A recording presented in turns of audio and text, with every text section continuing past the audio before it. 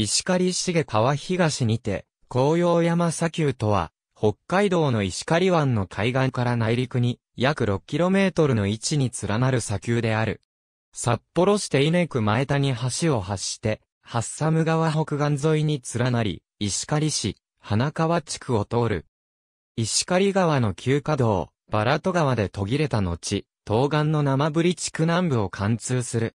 さらに石狩川西部里都市水路東岸の石狩市尾島くらいまで続く、総距離 20km、飛行5から 20m、幅0.5から 1km の内陸砂丘である。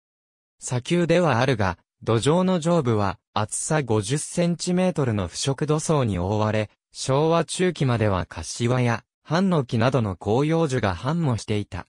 現在は都市開発の波に飲まれて宅地化し、富士女子大学、花川キャンパス周辺や自衛隊演習場などごく一部の地域で痕跡を伺うのみである。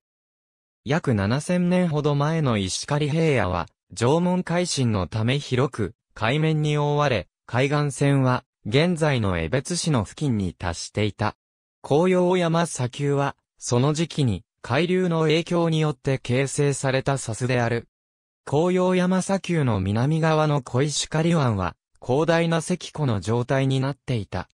その後、石狩川や豊平川、東別川が運搬する土砂で小石狩湾は埋め立てられ、6000年前以降には、砂丘列を貫いた石狩川が、直接日本海に注ぎ、デルタ地帯を形成していく。一方で海水面も低下し、紅葉山砂丘は内陸に取り残される。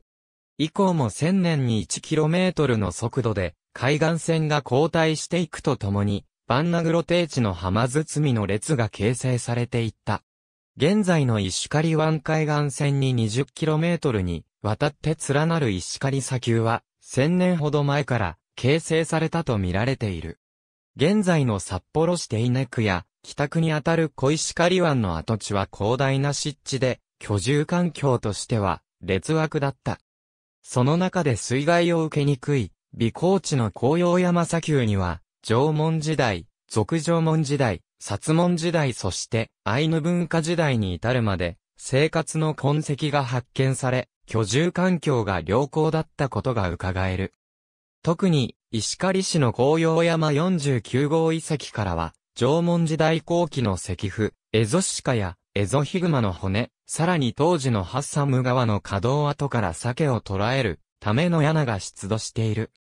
明治以降の北海道開拓の中で、バンナグロ低地の浜包列は農地化され、砂包は、畑作地帯、砂低間の低地は、水田として開発されたが、紅葉山砂丘はそのまま、雑木林として残された。現在では、浜包列、砂丘ともに、宅地開発されている。ありがとうございます。